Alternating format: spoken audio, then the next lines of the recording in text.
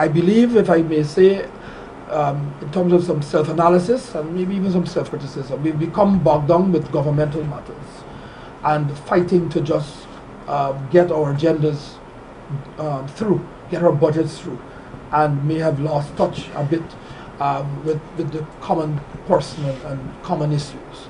But no one can say that we haven't pushed the IT agenda, telecommunications agenda, or business agenda, or resources, or infrastructure, or agriculture, or indigenous people's affairs. That was Alliance for Change leader Raphael Trotman rating his party's performance in the coalition government since assuming office in May 2015. Trotman was quick to defend his members who are sitting MPs and ministers of government as he described their performance as admirable. When one looks at our performance at, uh, in telecommunications, uh, in security, in agriculture, in natural resources, if I may add myself, in public infrastructure, um, in indigenous people's affairs, uh, that we, we, ha we have done well. Despite these praises, the performances of most of the AFC ministers have been generally poor, according to critics and independent analysts.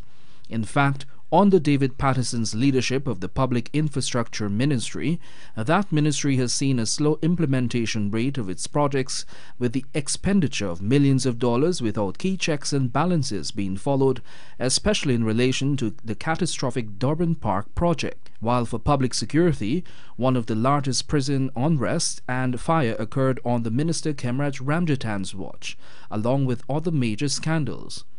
Also, both Catherine Hughes, who heads the Ministry of Public Telecommunications, and Dominic Gaskin, who heads the Ministry of Business and Tourism, have delivered poor performances in their sector, especially when one looks at the failure to liberalize the telecommunications sector and attract foreign direct investments. Calls are also being made for the Agriculture Minister Noel Holder's resignation in light of his handling of the downsizing of the sugar industry we're not saying that we are perfect. Far be it for us to say that we are perfect, and far from perfection are we.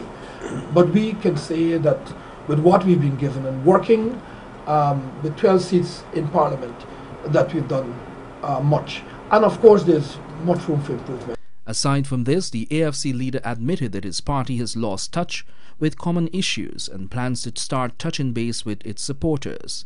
The fact that the AFC has not been able to successfully push for constitutional reform, a platform on which the party campaigned, some pundits believes that this has seriously damaged its credibility and influence within the coalition. Samuel Suknandan, The Evening News.